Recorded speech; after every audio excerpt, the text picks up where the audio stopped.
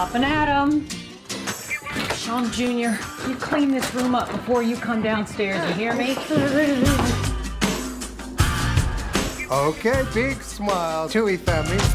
Come and get it, y'all. Everyone, thank your mother for driving to the store and getting this. Thank you, Mom. Thank you, Mama.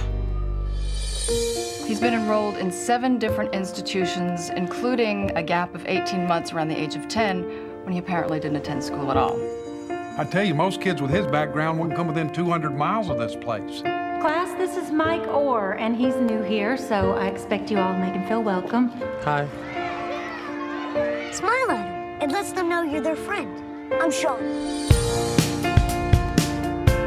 Who is that, SJ? Big Mike.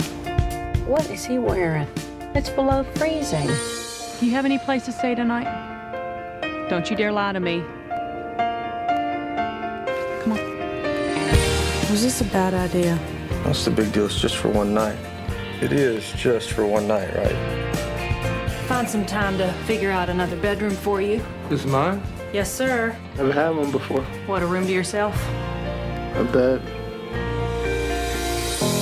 It's all real nice what you're doing, but don't be surprised if one day you wake up and he gone. Michael was here. Last night. Tell him to sleep with one eye open. You threaten my son. You threaten me.